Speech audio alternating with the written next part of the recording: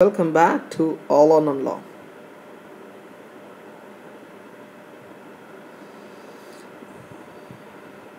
Hey guys, today I'm gonna talk about the the hemodynamic parameters of shock.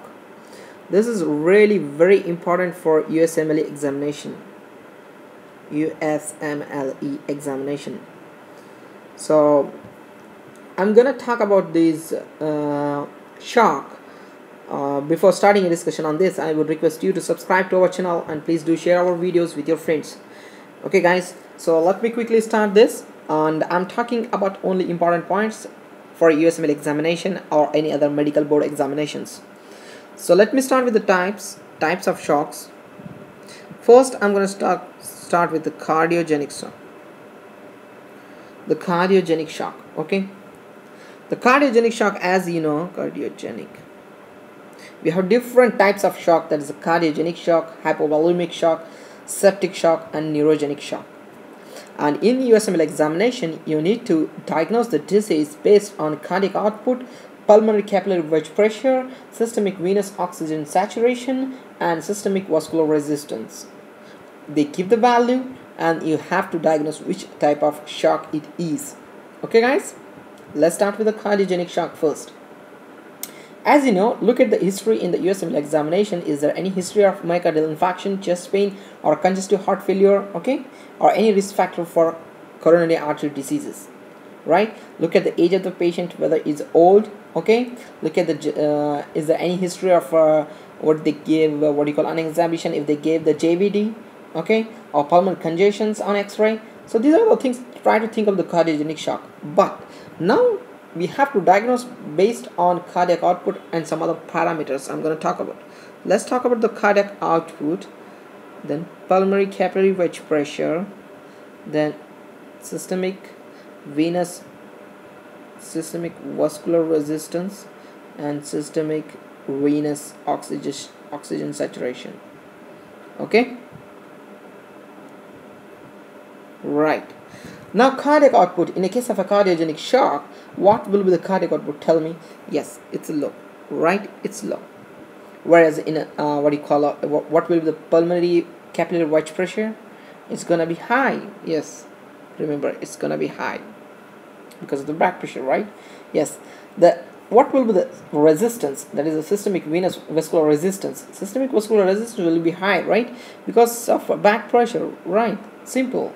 So there's no logic in that, right? But what's a uh, systemic venous oxygen saturation? Definitely, it's gonna be low, right? Good, excellent. Now let gonna let me talk about what you call uh, if it's a hypovolemic shock. Remember, hypovolemic. If it's a hypovolemic shock, what will be the parameters? What will be the level of uh, what you call um, cardiac output? Hypovolemic shock name itself indicates it's going to be low. Cardiac output will be low right? Uh, the pulmonary capillary wedge pressure is also low. Remember it's also low because of the loss of the blood. They might give the history of any trauma or any surgery. Look for a bp okay? Look for the pulse rate okay?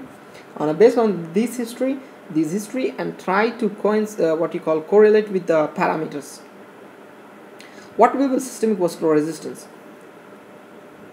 it will increase. Why?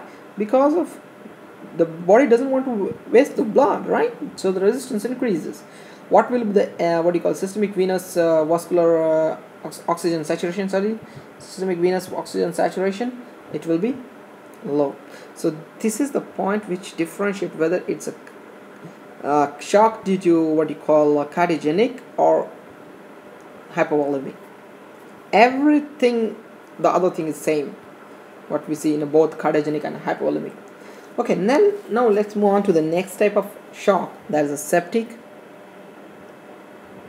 septic shock or neurogenic. Okay so let's talk about the cardiac output the PCW